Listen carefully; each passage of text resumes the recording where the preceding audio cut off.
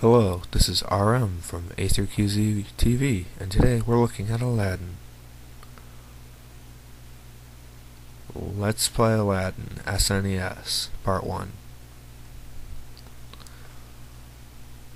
Okay, let's uh, load up the ROM here. Just saying this is my first time playing a game like this and doing this, so let's hope it turns out good. From Disney, I'm sorry about the lack of audio, but it's the best I can do with this HyperCam for now. Welcome to Agrabah. Here we go, loading screen. Sorry about the distortion. Okay, let's play the game. First level is fairly simple, just run through here. This game plays a lot like parkour. You just run through, jumping on guys to take them down. Keep running, jumping. Here, this part's pretty simple, but the important part of this level is just grabbing on the pegs to swing. Here's the first secret of the game, as, as you might call it. There's a heart. Boost your heart up one. And then here's a one up, which is good because you have to start the game over if you run out of ups. There, I just fell onto my peg. These are snakes, which is jump over. I realize some of this is really uncoordinated, but I was using the Joypad iPod app, and uh, it is really good for what it is. Okay, make sure you get those guys whenever they pop up. The flying bugs, I believe scarab beetles. Yes, they're very good. I'll explain that in a bit. The archers can be really annoying. Just deal with them. Here's the end of the first level. Nothing too hard, no bosses, no falling. Pretty simple. I'm just going to save this point here. And thanks to the Scarab Beetle, I get a bonus game. Here we go. The trick is, it's called break time. Trick is, when his eyes, you press the button once to get it going. When his eyes blink, I'm supposed to press stop. Didn't quite work that way, but he doesn't have anything bad on the wheel, so it's not like you can mess up. If you get the genie, which is what you want, he gives you a new heart, which they're very rare to get. The giant heart just fill, refills your lives, and if you have full lives, doesn't do much. Star, star just gives you credit, which I will get just now. There we go. Now I got four credits, which means when I lose, every time you run out of all your lives, you get a new credit to continue from the beginning of the world. Okay, here's World 2. I will proceed to lose a few times on this level because this is the transition level between difficult and capable. It's the first. Yeah, I know it's the second level, but it's like the first. I I don't. I there's a lot. You'll see later. It's hard. Don't know what the scroll does yet. I'll get back to you guys on that. No, because I was in protection mode, I did not get, or whatever you call it. I don't know, it's in a bunch of video games. Uh, yep, got him.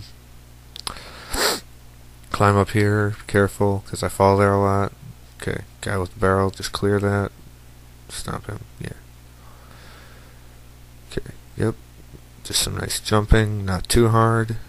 More archers that are annoying. That one didn't see you. That one hurt you because if you, this guy is really tricky. He usually costs a life. You have to swing, land, then swing, and you can hit him.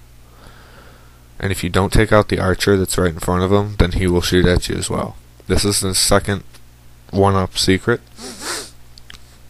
Not so much a secret in the first couple levels because it's obvious. Okay, yep, that was trying to switch the computer controller, which didn't work. Obviously, as you can tell. Okay, yep, just jump on him, grab your one up. Ah, I was still figuring out the controller. Grab the one up there, which is nice because if you do lose here, you can get your one up back. Yeah, and then that archer gets me in the head. So I will respawn, and I will just pause for you, trying to get a cheat code in here, but I didn't. Okay, back from that little lost break. Fast forwarded to where the part where I actually beat the level. Okay, yep, just yeah, the guy hurts me, but yeah, you know what? I do with him. I switch back to the joystick now. Joystick is cool. If you're not familiar with it, Google getjoypad.com. Check it out. It's definitely worth it. Okay, just avoid those guys. That's always cool. The jumping sequence there. Just gonna play it safe like I did last time. Jump up, climb up these steps slowly for some reason. This was an SNES game for those of you who may have missed out. So I I did play it on the SNES. I got rather far and I enjoyed it and I wanted to share it. See how the stuff works. Okay, here we go. Got past this part now. Okay, yep, just trick that guy into getting you. There we go. See the archer is shooting us now. Now we will continue to walk. Just climb up this here. Okay, here's the tricky part that I lost at last time. Watch carefully.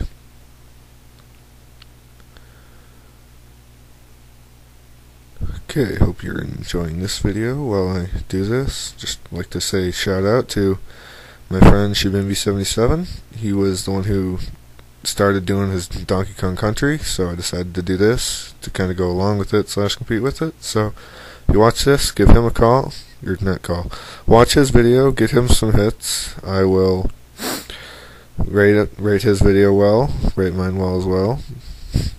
They're uh, both good as I go, and you should check it out. Here's the next level. A difficult jumping because my ROM was being glitchy at this point. Don't know. Controllers were hard too. Okay, this lo- this level 1-3 is what this is called, though this game never refers to them like that, so you won't probably won't see that in too many places. Is completely above the ground. I don't know if you remember if you remember the movie or if you've seen it. They spend a long time running above the surface. Thank uh, they spend a long time running above the rooftops. Thankfully, in this level, they give you a lot of food. Bread is worth one heart, and tur- chicken, turkey, whatever it is, is worth two hearts.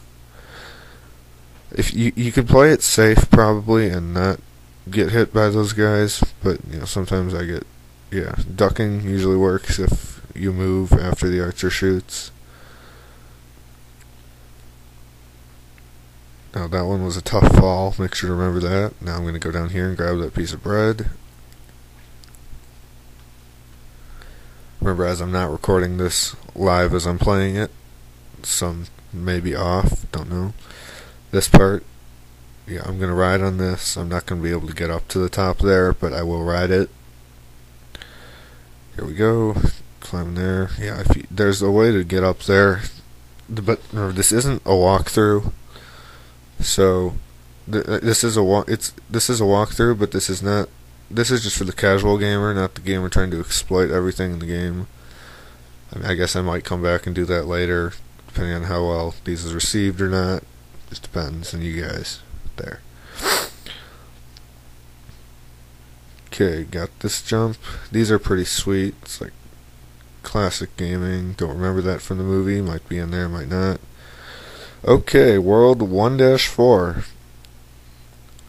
I'm going to just say the dash because it sounds right. Okay, see how, I don't know if you'll notice, but if you scroll back or whatever you guys do to the first video, the city has now, or the first few minutes, the city has now become darker. It's twilight. If you remember from the movie, this is when Princess Jasmine sneaks out and tries to give free food to one of the little children. And there she is, being tormented. I'm just going to save here in case I lose. And then here we go. This guy is annoying. You can't stand in the barrel, he'll cut you. This is a lot like, I guess, like a lot of the Koopas in Super Mario Bros. 3 and Super Mario Bro- Super Mario World in the bosses. This is a boss level.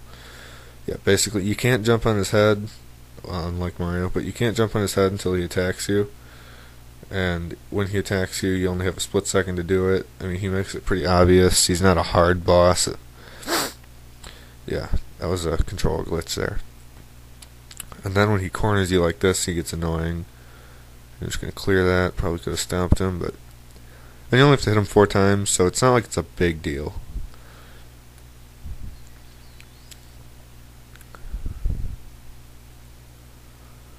Here go. This should be about the final time.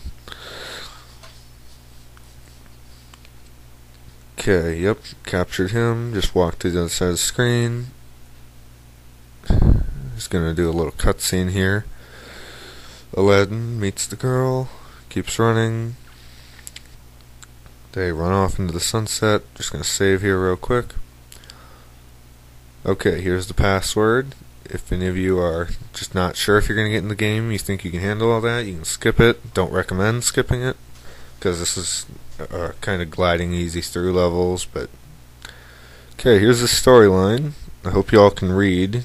I can read the font here, so I'm assuming you guys can. Kind of skipped through fast, but anyway, I'm gonna leave you guys with a nice cliffhanger at the end here. Dragged them off to the palace dungeon. Jasmine back to her father, the Sultan. Left you guys a nice cliffhanger there. And this is RM from A3QZ TV, signing off.